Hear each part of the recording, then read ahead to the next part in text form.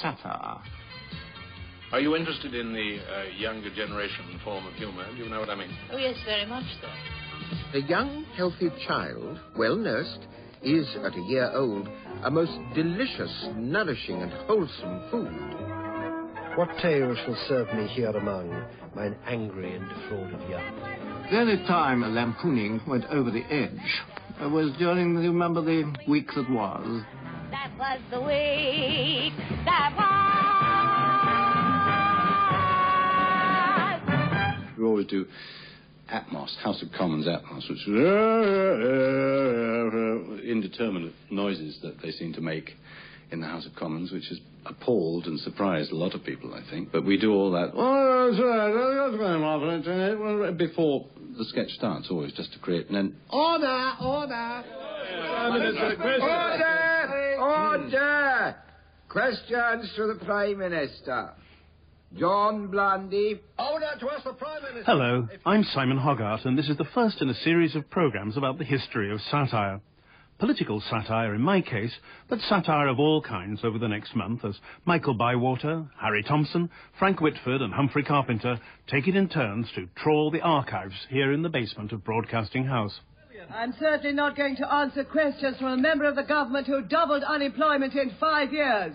Peter Worth. Is the Prime Minister intending to take action now the inflation rate has I'm reached... not going to answer a question for the party who left us with a 12% inflation rate. But I'm a Liberal.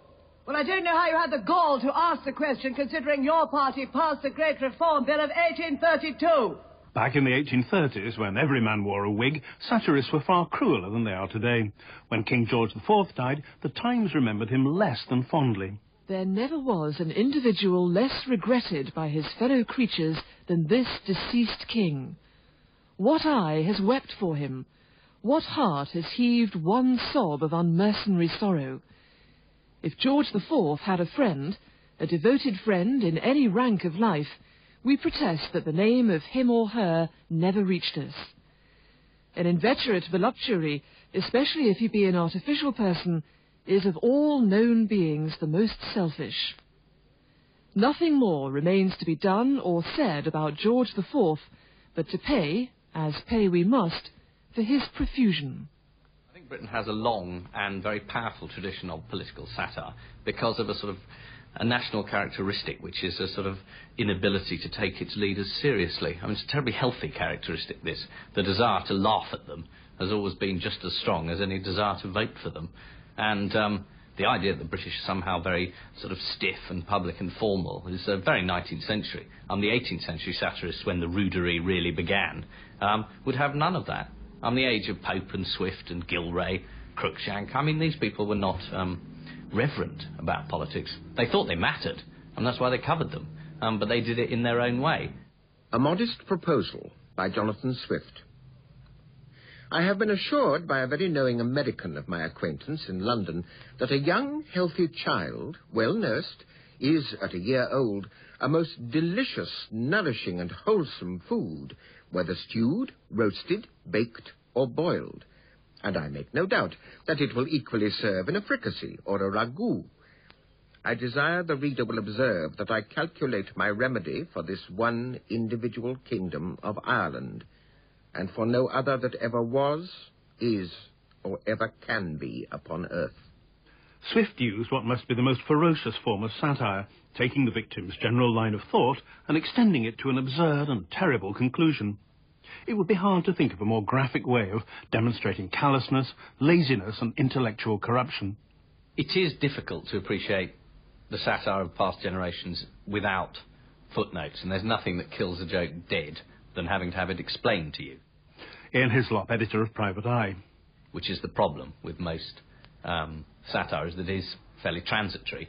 You need to know what's going on um, in order to get the joke and, and get the point. So, um, I mean, reading 20-year-old copies of Private Eye, some of it is entirely impenetrable. You cannot imagine what this was about. Or looking at That Was the Week That Was, when they show clips of it to tell you about this golden age of satire. And you have a look at it and you think, I've no idea what that's about.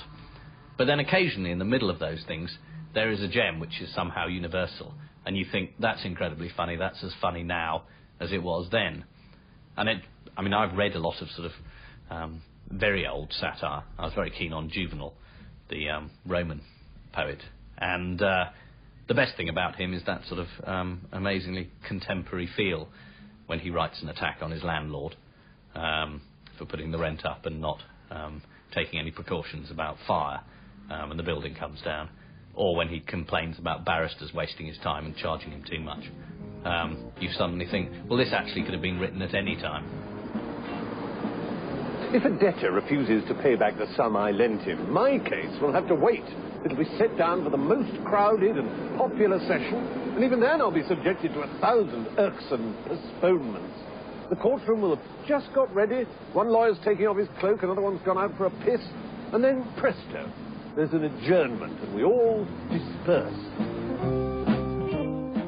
And I think there is a, a really definite Western tradition of satire that goes you know, straight from Juvenal, who more or less invented it, uh, right the way through into the English language, and um, from there to now.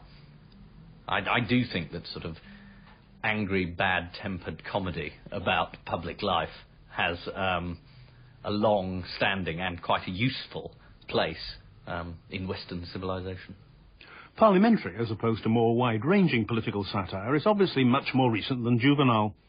I suppose that if we parliamentary sketch writers have our own hero or patron saint, it would have to be Charles Dickens, one of the earliest and still the most famous inhabitant of the press gallery. England has been in a dreadful state for some weeks. Lord Coodle would go out, Sir Thomas Doodle wouldn't come in, and there being nobody in Great Britain to speak of except Coodle and Doodle, there has been no government. It is a mercy that the hostile meeting between those two great men, which at one time seemed inevitable, did not come off, because if both pistols had taken effect and Coodle and Doodle had killed each other, it is to be presumed that England must have waited to be governed until young Coodle and young Doodle, now in frocks and long stockings, were grown up. Still, England has been some weeks in the dismal strait of having no pilot, as was well observed by Sir Leicester Dedlock, to weather the storm. And the marvellous part of the matter is that England has not appeared to care very much about it, but has gone on eating and drinking and marrying and giving in marriage as the old world did in the days before the flood. We don't often associate satire with the Victorians and tend to picture them suffused with boundless respect for their boundless empire. Yet satire did exist. Gilbert and Sullivan lampooned contemporary politicians in a fairly mild way. So, a little more sharply did Hilaire Belloc, writing at the turn of the century. It happened to Lord Lundy then, as happens to so many men. Towards the age of 26, they shoved him into politics. But very soon his friends began to doubt if he were quite the man. Thus, if a member rose to say, as members do from day to day, arising out of that reply, Lord Lundy would begin to cry. A hint at harmless little jobs would shake him with convulsive sobs. They let him sink from post to post, from fifteen hundred at the most to eight and barely six, and then to be curator of Big Ben and finally there came a threat to oust him from the cabinet. This verse is from a poem titled in full Lord Lundy, who was too freely moved to tears and thereby ruined his political career. Crying, as sketch writers and satirists all know, is the first big mistake a politician can make. It's the squeal that shows that the knife blade has slid in. Here's Bob Marshall Andrews, MP. Some members of Parliament are very upset um, to be satirised, um, driven, driven to crying home from school. But, uh, but uh, quite, quite a lot of members of Parliament, uh, I think, take it in the spirit to which it's uh, intended. I think it's very important not to be upset, or at least not to be openly upset. It's, it's the classic reaction to bullying, isn't it? If you squeal, um, then they like it, and then they'll, they'll come back for more. The art is, is pursuing the weakness, seeing where the weakness is, and then exploiting it. And I, I don't see anything wrong with that. One should be deeply unfair. One should be wholly unjust all the time. And I don't think that fairness or balance have anything to do with what we do. But just occasionally, when I get angry with somebody, I think one can make as much fun as one likes of people. The more fun, the better, and it doesn't matter if it's fair or not. But when an element of real anger comes in, and one, one attacks somebody in an angry way, I often finish my sketch at the end of the day thinking, wow, that was fantastic. Then I read it the next morning and feel a little bit guilty and a bit ashamed of myself for going for somebody. I maybe anger should fuel satire in the background, but when it comes too much into the foreground, no, I think I prefer a little levity and even occasionally a little geniality. Matthew Parris, my opposite number, a sketch writer on The Times, taking a more kindly view than the assailants of the 1830s would ever have done. The modern revival of satire began very suddenly in the 1960s. Writing before then, one of my predecessors on The Guardian called his collected works The Glory of Parliament. If you or I to publish were to publish a collection of our sketches under the title The Glory of Parliament, people would absolutely assume we were, we were being sarcastic. There was plenty of levity, if not much geniality, in the way the new instant generation of satirists treated the politicians of their day. It's sometimes hard to remember the impact in a more reverential era of Peter Cook's takeoff of Harold Macmillan in the 1961 revue Beyond the Fringe. According to their tastes or expectations, people were shocked, horrified, and sometimes utterly delighted. Good evening. I have recently been traveling round the world on your behalf and the joy expense visiting some of the chaps with whom I hope to be shaping your future. I went first to Germany for the Bundesrepublik, and now I spoke with the German Foreign Minister, Herr.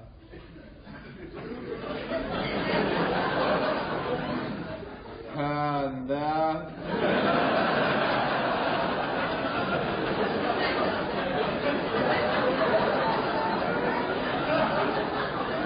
and we many frank words in our respective languages. I think a lot of it was to do with Macmillan and the Tory government and the fact that the what was called the establishment, that was the name of Peter Cook's club, was inspired by this fuddy-duddy old moustachioed Macmillan, uh, who is a terrific snob, apart from anything else. And his whole cabinet was full of dukes and various people who were related to him. And he was followed by the Earl of Home, who to private eye at that time was a wonderfully hilarious figure. We used to call him Baillie Vass. And it inspired, I think, a sort of anti the, the whole business of the establishment, of course, had gone on before the angry young men and people had already preceded us. And this satire, I think, came in as the sort of next fashionable wave. Astonishing revelation by Scottish newspaper. Douglas Home, an impostor. In an amazing report, the Aberdeen Evening Express last week revealed that the man known to the country as Sir Alec Douglas Home is none other than the notorious Scottish impostor Baillie Vass. Sir Alec, or Baillie Vass, last night said, I have no idea who this Vass fellow is.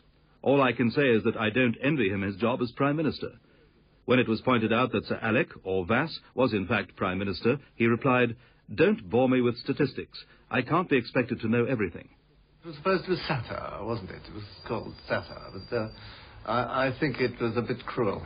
I don't think it was very. Uh, um, I, didn't, I, I must say I didn't like that at all. Lord Home, speaking there, was wrong. In modern terms, it was hardly cruel at all. Private Eye called him Baillie Vass because of the mixed-up picture caption in an Aberdeen newspaper. It wasn't a savage attack, but it was very silly. Call a politician the worst national leader since Attila the Hun, and you subtly flatter him. You give him a walk-on part in history. Give him a silly name instead, and you simply diminish him. As Lord Carrington's press secretary once said angrily to me, the Foreign Secretary does not mind criticism. He does, however, expect to be taken seriously. As the new satire entered the national culture, it almost certainly helped the Conservatives to lose the 1964 election. Obituary. The death occurred on October the 18th, 1963, of the Conservative Party. The Conservative Party had been suffering from severe Macmillan for the last seven years, and although this had finally cleared up, its condition was so debilitated as a result that a sudden attack of Lord Home caused its immediate demise. Uh, about a week ago, I saw the Prime Minister on television.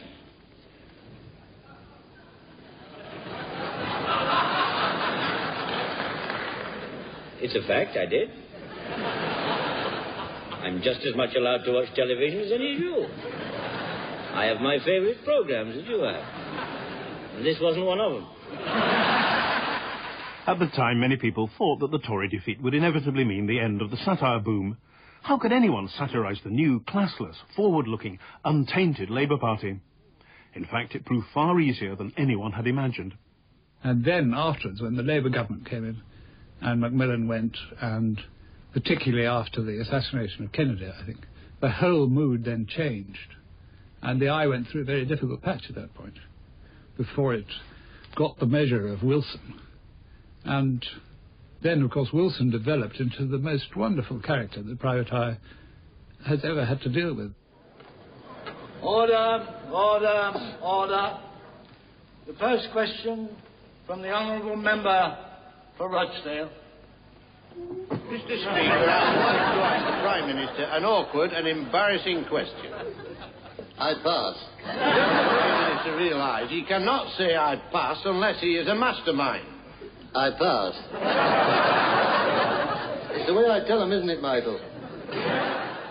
I think he was a, a wonderful satirical figure, uh, with uh, all his absurd schemes about solving the Vietnam War and giving the Beatles MBEs and all that sort of thing, and culminating in Marcia Williams being given an honour and his honours list, and it was all absolute classic stuff. And I don't think you've ever seen that was the, I would have thought the golden years of Private Eye. In many ways, verbal satirists are like cartoonists.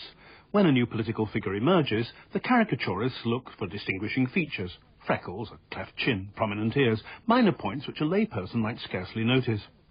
These then become a shorthand which makes that person instantly recognizable in a few lines.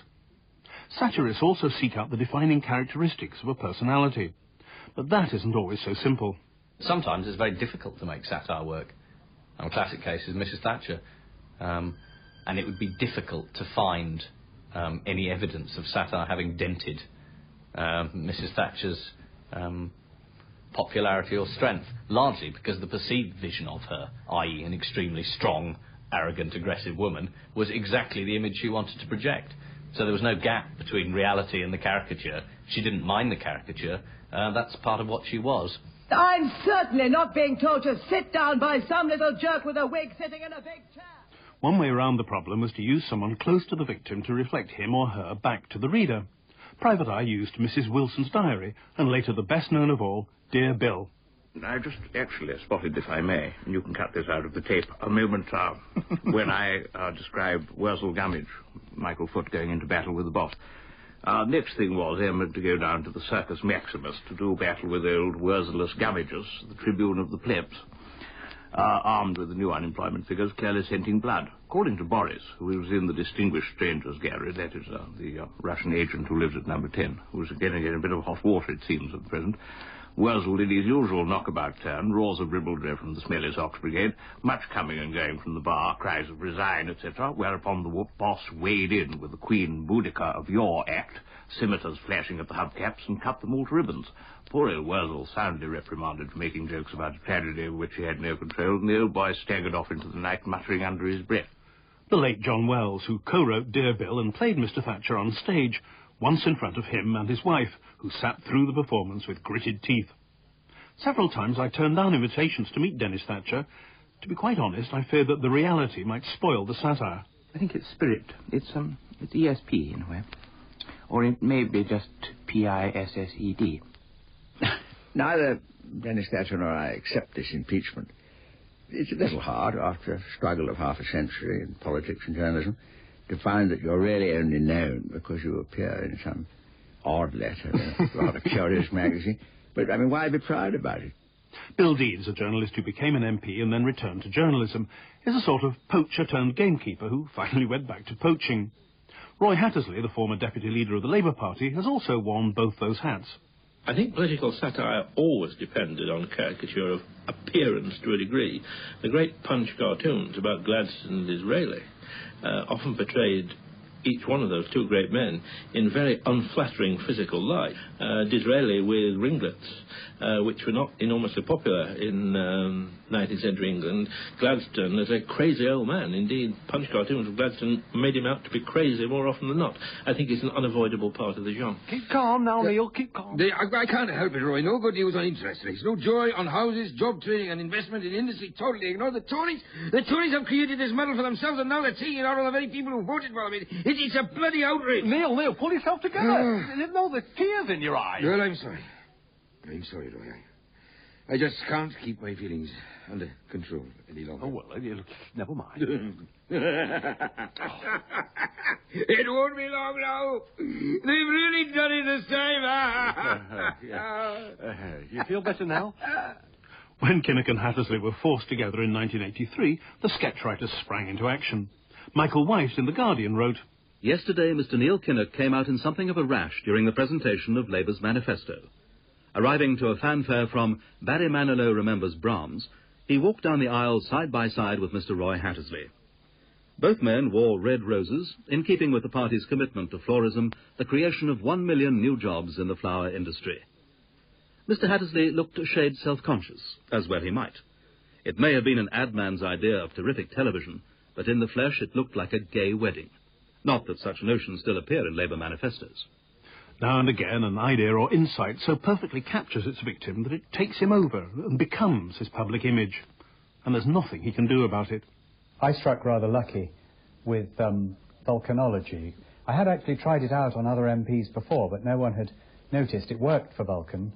Uh, it worked for, I even think of him as Vulcan now. And many, many years later, the Sun newspaper was actually giving out Vulcan ears to its readers in a bid to drum up support for John Redwood's bid, bid for the leadership, and I felt deeply proud and humbled. Mr. Redwood made a joke about a Vulcan being unable to see the joke about Vulcan jokes. There was a danger that his microchips might fuse at the fiendish internal logic of this inferential sequence. But though his eyes bulged for a moment, all was well. All in all, it was a successful performance. His clack of earthling riffraff cheering, he wound up the meeting. What we wondered would be his final word. No extra charge, he declared. Mr. Redwood must have seen this in a supermarket, recorded it as a useful idiomatic phrase, and inputted it onto the wrong disk drive in his logic system.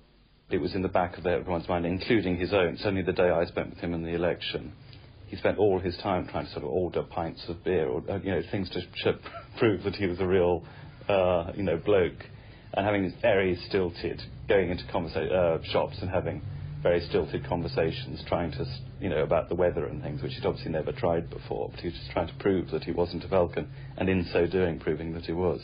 Craig Brown, who is also Wallace Arnold, Bel Littlejohn, and the author of Private Eye's spoof diaries, which skewer public figures by lampooning their own, usually rather conceited, view of themselves.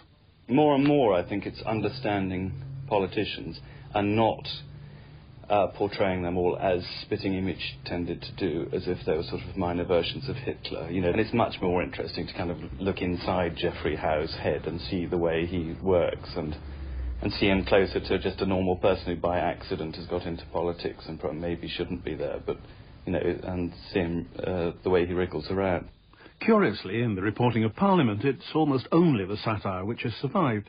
Sometimes we feel we're the only journalists watching Parliament at all and, and feel some sort of responsibility to, to give a sense of the occasion. So we're torn in lots of different directions. The moral high horse, uh, the low ground, uh, the anecdote, uh, uh and the satire. Sometimes we are the only journalists there, actually, apart from the uh, Press Association reporter keeping his lonely vigil at the front of the press gallery. When I first came here, a quarter of a century ago, to the Houses of Parliament, your paper, The Times, had 16 full-time people whose job it was to fill up to two whole pages of The Times with the daily parliamentary report. That's utterly vanished now, and it seems to have vanished from every other paper too. And, and one of the constant complaints of MPs is that there is no coverage like that. Uh, all they get is the sketch, which is poking fun at them. Why do you think this is?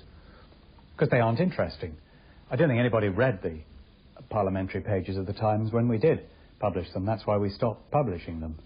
It's a problem for us if one was to do a satire on EastEnders, you can assume on the part of uh, your audience uh, a, a, pretty good knowledge of all the characters in EastEnders. We're doing a satire now on some 650 men, of, men and women, most of whom are completely unknown to our readers. So we have to spend the first half of our sketches actually setting these characters up, explaining who they are, and then we have them dancing around for the remaining three or four hundred words. It is difficult sometimes to satirize that which is increasingly unfamiliar to the reader.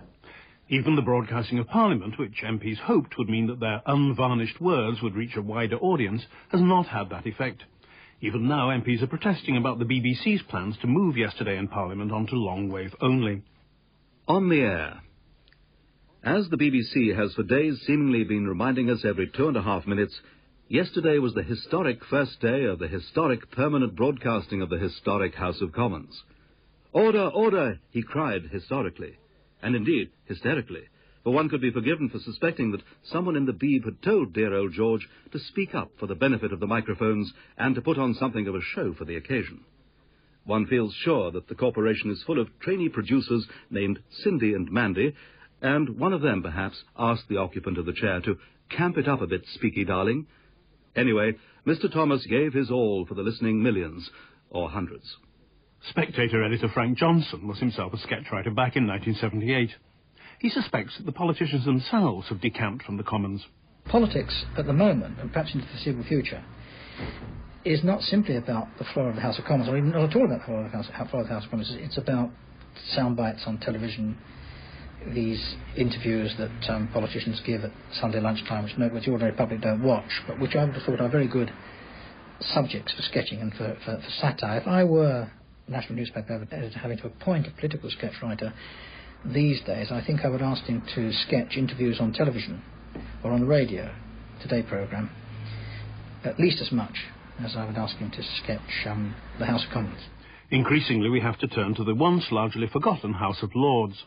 If you're rude about the Lords, of course they're far too dignified ever to write themselves, but their friends all right. And say Bertie would be mortified if he knew that I was writing on his behalf, but you were a little unkind uh, to, to, mention his incoherence in debate. Do you realise that he had a stroke in 1947? Uh, well, one thinks to oneself, well, why is he legislating for the nation? But no, they, they do get a bit pompous. So each generation throws up its own objects of derision. Politicians almost always fill that role, and after a slight delay while we all regroup, each new government provides a fresh round of material. Mandelson's terrific. The whole dome um, folly could not have been made up by satirists. I mean, you're merely there to um, comment on it. Lord Legge, I mean, wonderful. Where do they find these people? Geoffrey Robinson and Bernie Ecclestone, all these. Derry Irvine, doesn't matter whether they're Labour or Conservative. Next week, Michael Bywater looks at satire on stage.